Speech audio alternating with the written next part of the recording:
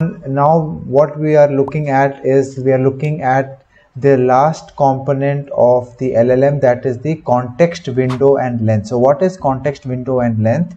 And uh, when you talk about context window and length, just think about uh, two scenarios, right? Once you put a prompt and you get a completion, both taken together is a part of the context length. So the longer the context length, the model has more information to generate a better response. And taking this together right the prompt and the completion. So when we say about context length and you might have heard this when people talk about it that let me make it full screen mode. Uh, there are these are the, some of the major models that are there. Gpt-3 started with 2400 context lengths. Means the input and the output together can be 2048 words uh, the chat gpt had starting initially it has around 4096 gpt-4 8192 and the biggest one is uh, claude 2 that by anthropic. It means that it's around 100k context lengths it means that you can take a whole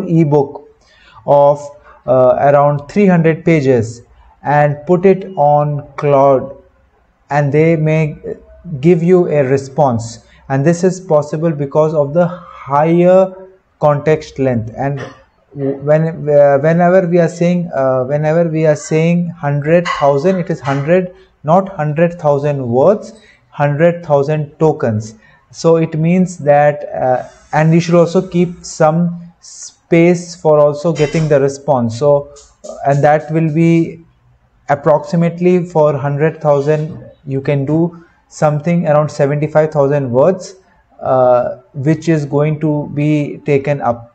And this is the way we talk about context length so you, what you can do is that uh, you can take any length so i go to my uh, academy blog and i take the book uh, decodingdatascience.com then i take a book uh, or a article like uh, large about large language model if you are reading large language model.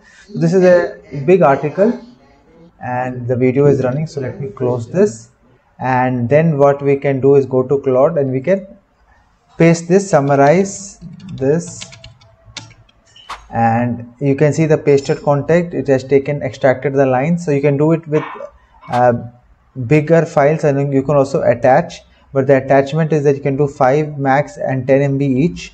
Uh, it gives both the options that are there and I just do this and I just do enter and it is going to summarize. So this is the thing that you can do. You can put more information in the uh, particular uh, AI tool. I am showing you uh, Claude because it is the biggest one. And just give it a couple of seconds. It is going to summarize and it is going to give you an output.